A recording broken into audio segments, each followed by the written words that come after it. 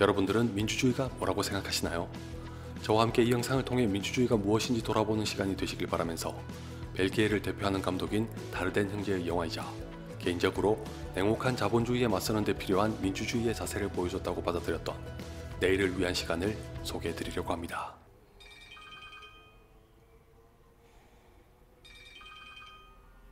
친구로부터 전화를 받은 산드라가 갑작스레 울음을 터뜨립니다.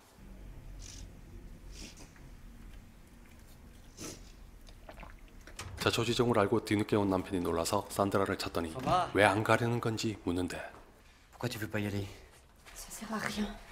Elle est sûre que si tu vas voir Dumont avec elle, elle lui fera accepter qu'il y a un nouveau vote lundi matin. 산드라는 우울증으로 휴직했다가 복직하려 했으나 회사 사정이 나빠진 사장이 산드라의 복직과 1000유로의 보너스 중 하나를 택하라는 잔인한 투표를 실시한 결과 Vous êtes 14 sur 16 à avoir choisi de toucher la prime.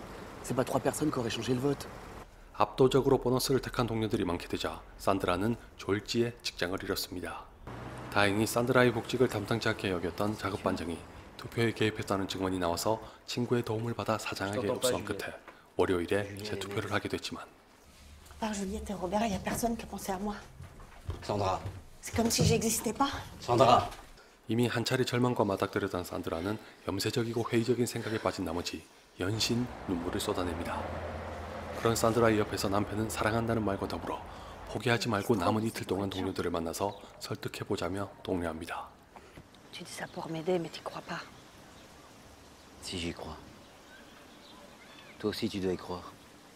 그 전에 먼저 부득이하게 만나지 못하게 된 한 사람과 전화로 얘기할 수밖에 없어 고민을 거듭하다가 어렵사리 말을 꺼내는데 Je veux juste te dire que je voudrais que tu votes pour moi, pour que je garde mon travail. C'est que 산드라로서는 c'est 감히 기대할 수 없었던 예상밖의 veux pas 답변을 te 듣게. 됩니다. Je te remercie. Ta gentillesse, je... 필시 천군만마처럼 다가왔을 이 한 사람의 따뜻한 마음에서 작은 희망을 본 산드라는 비록 여전히 힘겨운 여정이지만 자존심 따윈 내려놓은 채 용기를 갖고 남은 동료들을 만나러 다닙니다. Bonjour, je suis Sandra, je travaille chez Solwall avec Mireille. Est- Est-ce qu'il est possible de lui parler 이렇게 해서 순탄한 과정을 거쳤더라면 좋았겠지만 현실은 동화가 아니기에 산드라는 여러 사람들을 만나면서 가시밭길을 걷는 듯한 고통과도 마주합니다. 누군가는 다시 생각할 의사조차 없이 순식간에 결론을 전해버리고 Tu vois, je peux pas me permettre de perdre 1000 euros, tu comprends Il faut pas m'en vouloir, mais je peux pas. 또 다른 누군가는 아들의 학비와 아내의 실직으로 인해 보너스가 절실하게 필요하며 L'aînée est à l'université, il nous faut déjà 500 euros par mois rien que pour elle. 600 euros avec les charges de son côté. 심지어 산드라와 같은 곳에서 함께 일하는 아버지와 아들은 서로 다른 의견을 주고받다가 폭력까지 저지릅니다. T'as pas honte franchement de venir nous piquer notre fric Non, je la ferme pas, dégage Tu dégages 이외에도 여러 명이 산드라의 복직보다는 보너스를 원하는데 그도 그럴 것이 다들 경제적으로 여의치 않아 차마 다른 사람까지 돌볼 여유가 없습니다. 그 누구도 매정하다거나 이기적이라고 함부로 비난할 수 없는 안타까운 사정을 갖고 있어 양자택일을 강요한 투표가 더 잔인해 보이죠. Je peux te parler franchement Oui. Dumont, il a vu qu'on pouvait faire le boulot à 16, pourquoi il te reprendrait 그럼에도 불구하고 여전히 따뜻한 심성을 가진 사람들도 많아 과거에 산드라가 자신을 도와줬다는 걸 잊고 보너스에 투표했다는 걸로 죄책감을 가져 흐느끼면서 사과하는 사람도 있었고 Depuis hier soir, je m'en veux d'avoir voté pour ma prime.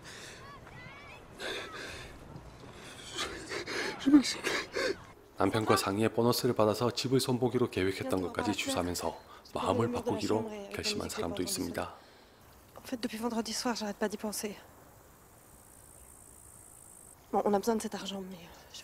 Mari.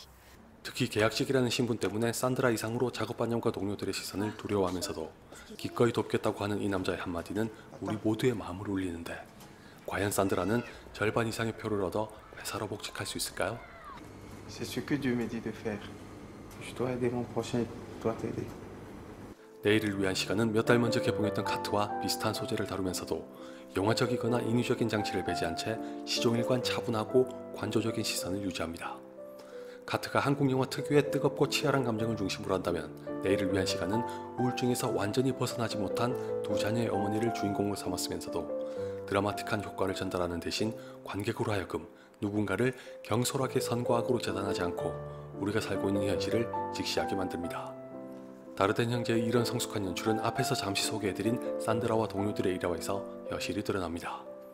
이 영화는 산드라가 동료들을 설득하러 나서는 걸로 시작해 투표를 마치고 나오는 걸로 끝나는데 그 과정에서 우리가 제3자의 눈으로 만나게 되는 사람들 중에는 아버지에게 주먹을 휘두른 막대먹은 아들 정도를 제외하면 절대적인 아기를 가진 경우가 없습니다. 단지 자신들의 삶이 고달파 같은 직장의 동료마저 챙길 여유가 없을 뿐 산드라를 싫어하고 직장으로 돌아오는 걸 거부하기 때문에 보너스를 택한 건 아닙니다. 그렇기 때문에 산드라의 복직에 힘을 실어주는 사람들이야말로 실존하는 영웅이라고 단언할 수 있을지언정 반대쪽에 선 사람들이라고 해서 무작정 비판할 순 없습니다. 도리어 지극히 현실적이고 입체적인 캐릭터들 덕분에 내일을 위한 시간을 보는 동안에는 과연 나라면 어떤 선택을 할 수 있을까라는 질문을 하게 되죠. Je veux pas que tu perdes ton travail, mais je veux pas non plus perdre ma prime. Mets-toi à ma place, un an de gaz et d'électricité. 산드라는 한때 같은 직장에 다니던 동료들을 하나하나 찾아다니면서 자신의 처지를 호소하는 걸 곤욕스러워합니다. 처음에는 순전히 남들의 눈에 구걸하는 것처럼 보일 거라는 자기 비하에 빠져 괴롭고 수치스러운 감정에 시달렸으나 시간이 흐르고 더 많은 사람들을 만나게 되면서 자신보다 특별히 나을 게 없는 형편의 사람들을 곤란하게 만들고 때로는 갈등까지 일으키고 있다는 걸 점차 알게 되면서 몹시 힘들어합니다. 실제로 산드라는 강요하고 싶지 않고 사과할 필요도 없다고 말했는데도 그런 불만을 토한 사람이 있는 걸 보면 아마도 인지상정이라는 말이 있는 것처럼 찬반을 떠나 모든 투표자들이 자신의 권리를 행사하기 전에 망설이고 가슴 아파했을 것 같은데 저는 내일을 위한 시간이 우리에게 전하는 중요한 메시지 중 하나가 바로 이거라고 생각합니다. 산드라와 일부의 동료가 말하듯이 양자택일을 할 수밖에 없도록 만든 건 자신들이 아닙니다. 다시 말해 당사자들의 의사는 전혀 고려하지 않은 채 콜로세움으로 밀어넣어 누군가를 죽이지 않으면 자신이 죽게 되는 비극을 조장한 장본인은 따로 있습니다. 이 사실을 다들 모르는 바도 아니고 안타까워하면서도 정작 그 사람을 향해 목소리를 내기에는 너무나도 미약한 존재라 서로에게 비수를 꽂아야만 한다는 게 이 영화만이 아니라 우리가 현실에서 안고 살아가는 모순이죠. Pour moi, c'est la catastrophe, c'est la majorité de soutien, mais je te le souhaite quand même. Excuse-moi. 어쩌면 여기서 많은 분들이 방금 제가 지목한 장본인을 즉 사장이나 작업반장을 악역으로 오해할 수 있지만 다르덴 형제의 사려 깊은 연출은 관객이 그런 속단도 내리지 못하도록 합니다. 예를 들어 비록 소극적으로 묘사할지라도 회사를 경영하는 사장은 아시아의 값싼 노동력에 밀린 탓인지 지출을 줄여야 하는 불가피한 상황에 놓였습니다. 그걸 무시한 채 보너스와 산드라의 복직을 모두 수용하지 못하는 걸 마냥 비판하는 것 또한 올바른 처신이라고 할 수는 없지 않을까요? 굳이 원인을 찾자면 전 오랜 역사를 거치면서 굳건하게 자리한 자본주의라는 시스템이 가진 맹점이라고 생각합니다. 자본주의 안에서 결국 기업의 궁극적인 목표는 이윤의 추구가 될 수밖에 없다는 걸 부정할 수 없으니 항상 손익계산이 우선되는 건 누구도 바꿀 수 없는 명제입니다. 이 자체를 깨부순다는 건 너무나도 무모하고 위험하다 못해 폭넓은 설득력조차 확보할 수 없기 때문에 무조건적으로 노동자의 편만을 들어줄 수도 없다는 게 야속할 지경이죠.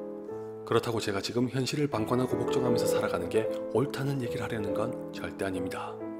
실은 내일을 위한 시간을 보고 나오는 길에 다르덴 형제의 간결하지만 전곡을 찌르는 철학에 감탄하면서 이 영화가 냉혹한 자본주의에 맞서는 데 필요한 민주주의의 자세를 보여줬다고 생각했던 이유를 말씀드리고 싶었는데 아무래도 결말을 언급할 수밖에 없는 관계로 너른 양해를 부탁드리면서 산드라가 겪었던 고난한 여정의 끝으로 들어가 보겠습니다. Tu te rends pas compte, toi, mais c'est à cause de moi qu'il y a de la violence. Je supporte pas ça. C'est la première fois que ça arrive. Non, c'est chaque fois. 투표 당일까지 험난했던 과정을 거쳤음에도 불구하고 결과는 8대 8로 동료를 이루면서 끝내 산드라는 복직에 실패합니다. 분하고 슬프지만 받아들여야 하는 현실에 눈물을 머금고 자신을 지지해준 친구들과 인사한 후에 떠나려던 산드라에게 사장이 만났으면 한다고 연락이 옵니다. 혹시나 하는 기대를 갖고 갔더니 역시나 사장은 산드라의 노고를 인정하며 보너스와 복직을 모두 수용하겠다면서 한 가지 조건을 내겁니다. 그 조건이란 다름 아닌 두 달 후에 고용기간이 만료되는 계약직을 내보낼 테니 좀 더 쉬면서 빈자리가 생기면 즉시 돌아오라는 거였습니다. 사장의 이런 제안에 누구나 혹할 수 있을 텐데도 산드라는 이런 지하에 거절하면서 자리를 박차고 나오는데 저는 바로 이 장면과 산드라가 남기는 말을 보고 들으면서 소름이 돋았습니다. Vous restez avec nous. Je peux pas prendre la place de quelqu'un qui sera licencié pour que je puisse revenir. 마지막에 산드라가 보여주는 태도는 바로 민주주의의 이념 중 하나인 인간의 존엄성을 누구도 훼손할 수 없도록 스스로 지켜낸 거라고 생각합니다. 사장은 재계약을 하지 않는 거지 해고하는 게 아니니 계약직 사원의 경우는 다르다고 하지만 산드라는 인정하지 않으면서 자신이 스스로 물러나는 쪽을 택합니다. 이건 누가 봐도 더 약한 사람을 희생시키겠다는 비겁한 미봉책이 지나지 않는 데다가 이틀 동안 찾아다니면서 만났던 동료들에게 본인의 입장을 이해해달라고 호소했던 당사자가 안면 몰수하고 타인의 아픔을 밟고 일어선다는 건 소위 말하는 내로남불의 극치와 다름없습니다. 아울러 조금 냉정하게 말하면 끊임없이 약을 복용하는 걸로 짐작할 수 있듯이 산드라가 오롯이 회복했다고 장담할 수 없는 상태라 열심히 잘하고 있는 사람까지 내보내면서 복직하는 게 가장 이상적인 결과라고 확신하기엔 어렵습니다. 산드라도 이 모든 걸 알기에 한치의 망설임 없이 거절하고 당당한 걸음으로 나왔을 거라고 생각합니다. 그 바람에 산드라는 직장을 잃었으나 냉혹한 자본주의의 권력에 속수무책으로 당하면서도 어쩔 수 없다는 말로 체념하고만 지내선 안 된다는 값진 교훈과 경험을 얻었을 겁니다. 자신을 독려했던 남편의 말 맞다나 조심스레 움츠린 상태로 남아 산드라를 걱정하고 응원했던 사람들도 있었기에 무려 16대 2였던 결과가 8대 8로 크게 호전됐으니 우리 역시 결코 허무 맹랑하지만은 않은 영화에서 작은 희망을 본 셈입니다. T'es là On s'est bien battu.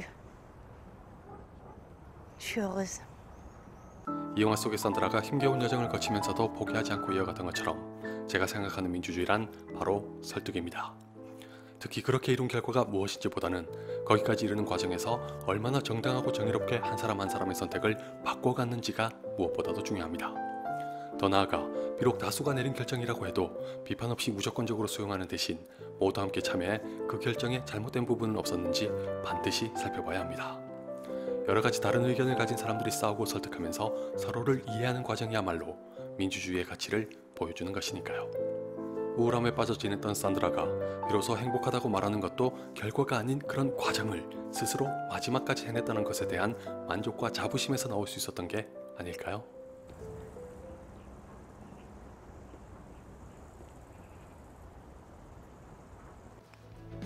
여기까지 재밌게 보셨나요? 내일을 위한 시간이 저와 여러분에게 숙제를 안겼던 것처럼 더 나은 삶에 대해 고민하고 생각을 공유하면서 정책을 만들어가는 일상의 과정이 민주주의의 실천으로 이어집니다. 혹시 제 미천한 영상이 여러분에게 그런 쪽으로 약간이나마 영감을 드렸다면 지금 민주주의 서울에 접속해 여러분의 생각을 이야기해주세요. 민주주의 주간에도 많은 관심 부탁드립니다.